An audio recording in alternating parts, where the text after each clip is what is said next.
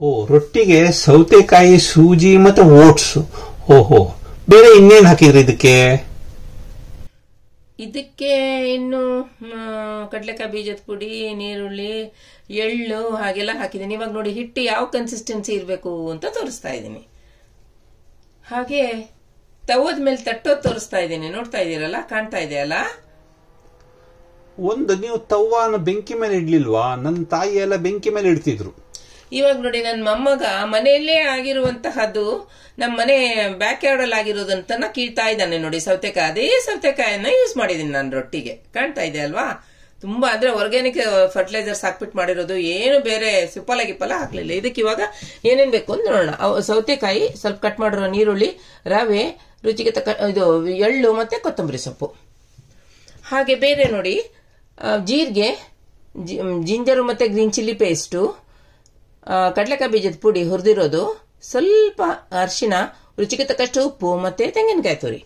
ಈಗ ನೋಡಿ ಸೌತೆಕಾಯಿನ ತುರಿಯೋದು ತೋರಿಸ್ತಾ ಇದ್ದೀನಿ. ಕಾಣತ್ತಲ್ಲ? ನೀವು ಸೌತೆಕಾಯಿದು ಸಿಪ್ಪೆ ತೆಗೆಯುದಲ್ವಾ? ನನ್ನ ತಾಯಿ ಎಲ್ಲ ಸಿಪ್ಪೆ ಎಲ್ಲ ತೆಗೆದೇ ಮಾಡ್ತಿದ್ರು. ನಾನು ಸಿಪ್ಪೆ ಯಾಕೆ ತೆಗಿಲಿಲ್ಲ ಅಂತಂದ್ರೆ ಆಕ್ಚುಲಿ ಸಿಪ್ಪೆನಲ್ಲಿ ತುಂಬಾ ನ್ಯೂಟ್ರಿಯೆಂಟ್ಸ್ ಇದೆ. ಇದಕ್ಕೆ ನಾವೇನು ಫರ್ಟಿಲೈಸರ್ಸ್ ಹಾಕ್ಲಿಲ್ಲ. ಇದು ಅಡಿಗೆ ಮನೆ ವೇಸ್ಟ್ ಹಾಕಿ ಮಾಡಿರೋದು. ಹಾಗಾಗಿ ಅದನ್ನ ಹಾಗೆ ತುರಿದು ಹಾಕಿದ್ದೀನಿ ನಾನು ಸಿಪ್ಪೆ ತೆಗಿಲಿಲ್ಲ.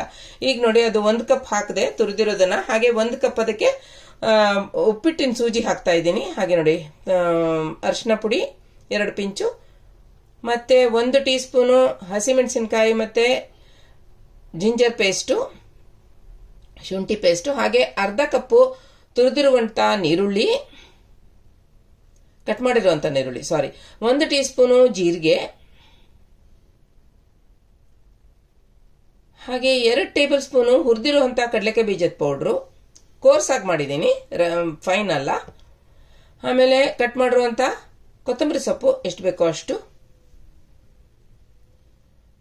ರುಚಿಗೆ ತಕ್ಕಷ್ಟು ಉಪ್ಪು. ಹಾಗೆ ಹುರಿದಿರುವಂತ ಒಂದು ಟೀ ಸ್ಪೂನು ಎಳ್ಳು ಬಿಳಿ ಎಳ್ಳು.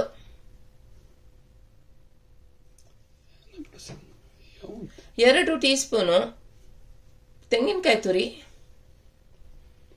ಹಾಗೆ ರೋಸ್ಟ್ ಮಾಡಿರುವಂತಹ oats powder one third cup ಹಾಕಿದ್ದೀನಿ. ಈಗ ತೆಂಗಿನಕಾಯಿ ತುರಿ ಹಾಕ್ಲೇಬೇಕಾ? ತೆಂಗಿನಕಾಯಿ ತುರಿ ನಾವು ತೆಂಗಿನಕಾಯಿ ಪ್ರಿಯರು ರೀ. ಅದಕ್ಕೋಸ್ಕರ ತೆಂಗಿನಕಾಯಿ ಹಾಕ್ಲೇಬೇಕು. ಸ್ವಲ್ಪ ಸಾಫ್ಟ್ನೆಸ್ ಕೊಡುತ್ತೆ. ಅದಕ್ಕೋಸ್ಕರ ನಾವು ಹಾಕೋದು. ಹಾಕದೇ ಇದ್ರೆ ಆಗ್ತದಲ್ಲ? ನಡೀತದೆ. ಹಾಕದೇ ಇದ್ರೆ ನಡೀತದೆ. ಓಟ್ಸ್ ಯಾಕೆ ಹಾಕ್ತಿದ್ರಿ ನೀವು? ಇದು ಇವಾಗ ಕವರ್ ಮಾಡಿ ಮೂವತ್ತು ನಿಮಿಷ ಇಡಿ ಏನಾಗುತ್ತೆ ನೋಡಿ. ಓಟ್ಸ್ ಯಾಕೆ ಹಾಕಿದ್ದೀನಿ ಅಂತಂದ್ರೆ ಹೆಲ್ದಿ ಮಾಡೋಣ ಅಂತ ಹಾಕಿದ್ದೀನಿ. ಇವಾಗ ನೋಡಿ, ಅದು ನಿಮ್ಮದು ಅದು ರೊಟ್ಟಿದು ಸ್ವಲ್ಪ ಹಾರ್ಡ್ ಆಗಿದೆ, ಎಲ್ಲ ಕುಡಿದು ಬಿಟ್ಟಿದೆ. ಅದ್ರದ್ದಿರೋ ಲಿಕ್ವಿಡ್ ಯಾಕಂದ್ರೆ ನೀರು ಹಾಕ್ಲಿಲ್ಲ ಅಲ್ವಾ? ಸೌತೆಕಾಯಲ್ಲಿ ಇರೋದು ಎಷ್ಟು ಮಾಯಿಶ್ಚರ್ ಇರುತ್ತೋ ಅದನ್ನ ಮಾತ್ರ ಅದನ್ನ ಎಳ್ಕೊಂಡ್ಬಿಡ್ತು. ಈಗ ಸ್ವಲ್ಪ ನೀರು ಹಾಕಿ ನಾವು ಅಡ್ಜಸ್ಟ್ ಮಾಡ್ಕೋಬೇಕಾಗತ್ತೆ ಸಾಫ್ಟ್ ಆಗೋ ಹಾಗೆ. ಹಿಟ್ಟು ಸಾಫ್ಟ್ ಆಗೋ ಹಾಗೆ ನಮಗೆ ತಟ್ಟಕ್ಕೆ ಬರೋ ಹಾಗೆ ನೋಡಿ ಈಗ ತೋರಿಸ್ತಾ ಇದ್ದೀನಿ. ಓಟ್ಸ್ ಯಾಕೆ ಹಾಕಿದ್ರಿ ಅಂತ ಕ್ವಶನ್ ಕೇಳಿದ್ರಿ. ಓಟ್ಸು ನಮಗೆ ಕೊಲೆಸ್ಟ್ರಾಲ್ ನಾರ್ಮಲ್ ರೆಡ್ಯೂಸ್ ಮಾಡಲಿಕ್ಕೆ ಬಿ ಪಿ ರೆಗ್ಯುಲೇಟ್ ಮಾಡುತ್ತೆ ಬ್ಲಡ್ ಶುಗರ್ ರೆಗ್ಯುಲೇಟ್ ಮಾಡುತ್ತೆ, ಅದರಿಂದ ನಾನು ಓಟ್ಸ್ ಹಾಕಿದ್ದೀನಿ.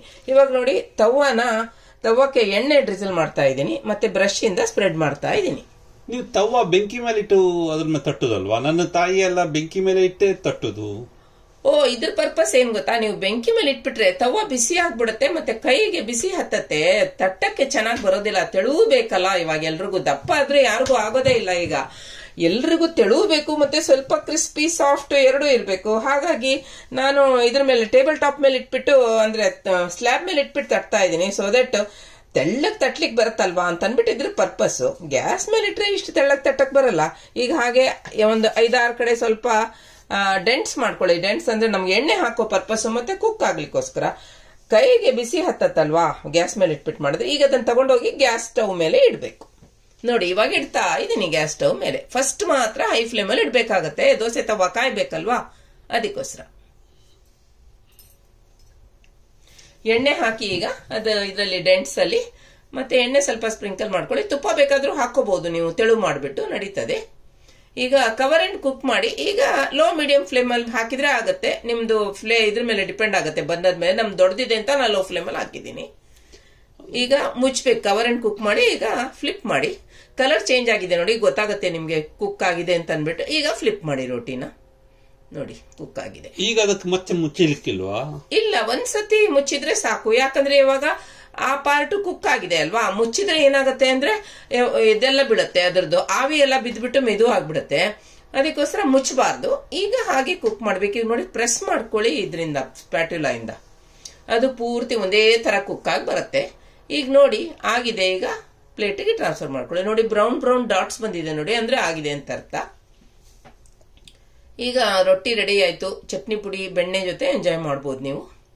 ಈಗ ನೋಡಿ ಇನ್ನೊಂದು ತವದಲ್ಲಿ ಮಾಡ್ತಾ ಇದ್ದೀನಿ. ಇದು ಕಾಸ್ಟ್ ಐರನ್ ತವಾ ಇದು. ಒಂದ್ ನಿಮಿಷ. ಈ ಕಾಸ್ಟ್ ಐರನ್ ತವ ಬೇರೆ ಅದು ಬೇರೆ. ಯಾಕೆ ಮಾಡಿದ್ರಿ ಹಾಗೆ? ಎರಡು ತವ ಯಾಕೆ ಮಾಡಿದ್ರಿ? ಓ ಆಕ್ಚುಲಿ ಕಾಸ್ಟ್ ಐರನ್ ತವದ ಮೇಲೆ ಮಾಡೋದು ತುಂಬಾ ಹೆಲ್ದಿ ಆದ್ರೆ ನಮ್ಗೆ ಒಂದೇ ತವ ಇದ್ರೆ ಇನ್ ಅದನ್ನ ಅದು ತಣ್ಣಗಾಗ್ಬೇಕಲ್ವಾ? ಇನ್ನೊಂದು ಆಗ್- ಇನ್ನೊಂದು ರೊಟ್ಟಿ ತಟ್ಟಬೇಕಾದ್ರೆ ಒಂದ್ರ ಮೇಲೆ ತಟ್ಕೊಂಡು ಹೋದ್ರೆ ನಾವು ತಣ್ಣಗಾಗೋ ತನಕ ಕಾಯ್ಬೇಕಲ್ಲ? ಸೊ ಒಂದು ತಟ್ಟಿದ ಮೇಲೆ ಅದನ್ನ ಕಾಯ್ಸಕ್ಕೆ ಇಟ್ಬಿಟ್ಟು ಇದನ್ನ ತೆಗೆದ್ರೆ ಇದು ತಣ್ಣಗಾಗಿರುತ್ತೆ, ಅವಾಗ ಅದ್ರ ಮೇಲೆ ತಟ್ಬಹುದು ಸೊ ಇದನ್ನ ಯಾವತ್ತೂ ಸ್ಲ್ಯಾಬ್ ಮೇಲೆ ಇಟ್ಬಿಟ್ಟೆ ತಟ್ಟೋದು ಒಳ್ಳೇದು ಈಗ ನೋಡಿ, ಅದನ್ನ ತಗೊಂಡು ಹೋಗ್ಬಿಟ್ಟು ಗ್ಯಾಸ್ ಮೇಲೆ ಇಡ್ಬೇಕೀಗ. ನೋಡಿ, ಇಡ್ತಾ ಇದ್ದೀನಿ ಗ್ಯಾಸ್ ಮೇಲೆ. ಫಸ್ಟ್ ಸ್ವಲ್ಪ ಹೈ ಫ್ಲೇಮ್ ಅಲ್ಲಿ ಇಟ್ಬಿಟ್ಟು ಒಂದು ಟೂ ತ್ರೀ ಮಿನಿಟ್ಸ್ ಇಟ್ಟರೆ ಕಾಯತ್ತಲ್ವಾ? ಆಮೇಲೆ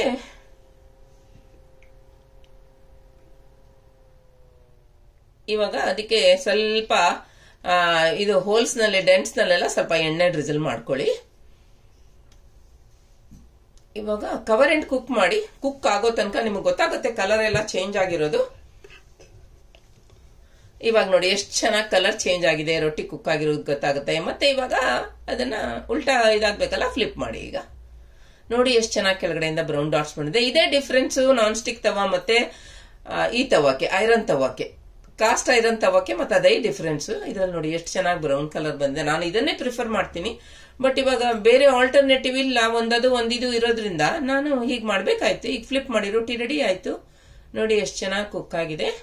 ಇದನ್ನ ನೀವು ಚಟ್ನಿ ಪುಡಿ, ಬೆಣ್ಣೆ ಜೊತೆ ಎಂಜಾಯ್ ಮಾಡ್ಬೋದು. ತೆಂಗಿನಕಾಯಿ ಚಟ್ನಿ ಜೊತೆ ಎಂಜಾಯ್ ಮಾಡ್ಬೋದು. ಉಪ್ಪಿನಕಾಯಿ ಇದ್ರೆ ಉಪ್ಪಿನಕಾಯಿ, ತೆಳು, ರಸ ಇದೆ ಅದ್ರ ಜೊತೆ ಎಂಜಾಯ್ ಮಾಡ್ಬೋದು.